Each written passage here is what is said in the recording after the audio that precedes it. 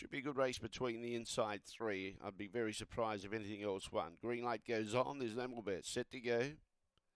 Away, Curls Victory began well. Denzel Bale, he's getting clear running room, but he's a length and a half or two behind him. My mum's value alongside of him. Out wide, he's all ours. A very wide Jervis Boy, and then behind those Seaside Shuffle. But here comes Denzel Bale. Powers through on the inside. Strong at the finish and too good. Beats My Mum's value. Curls Victory was third. Fourth, possibly he's all ours in front of Jervis Boy and Seaside Shuffle at the tail end of the field.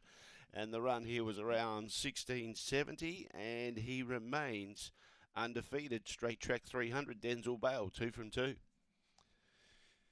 Got out to very big odds on the tote. Very big odds. Was a drifter. There was money for Curl's victory, but yeah, I just uh, I thought he was a good chance of beating her, and he has.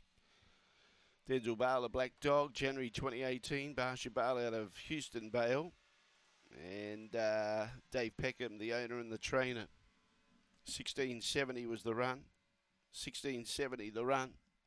One, two, four, and five. One, two, four, five. One and three quarters the winning margin. And one and a half between second and third. Again, he got that trouble-free run from the inside. Uh, his previous race that he won here over 300, he had box one on that occasion, and he had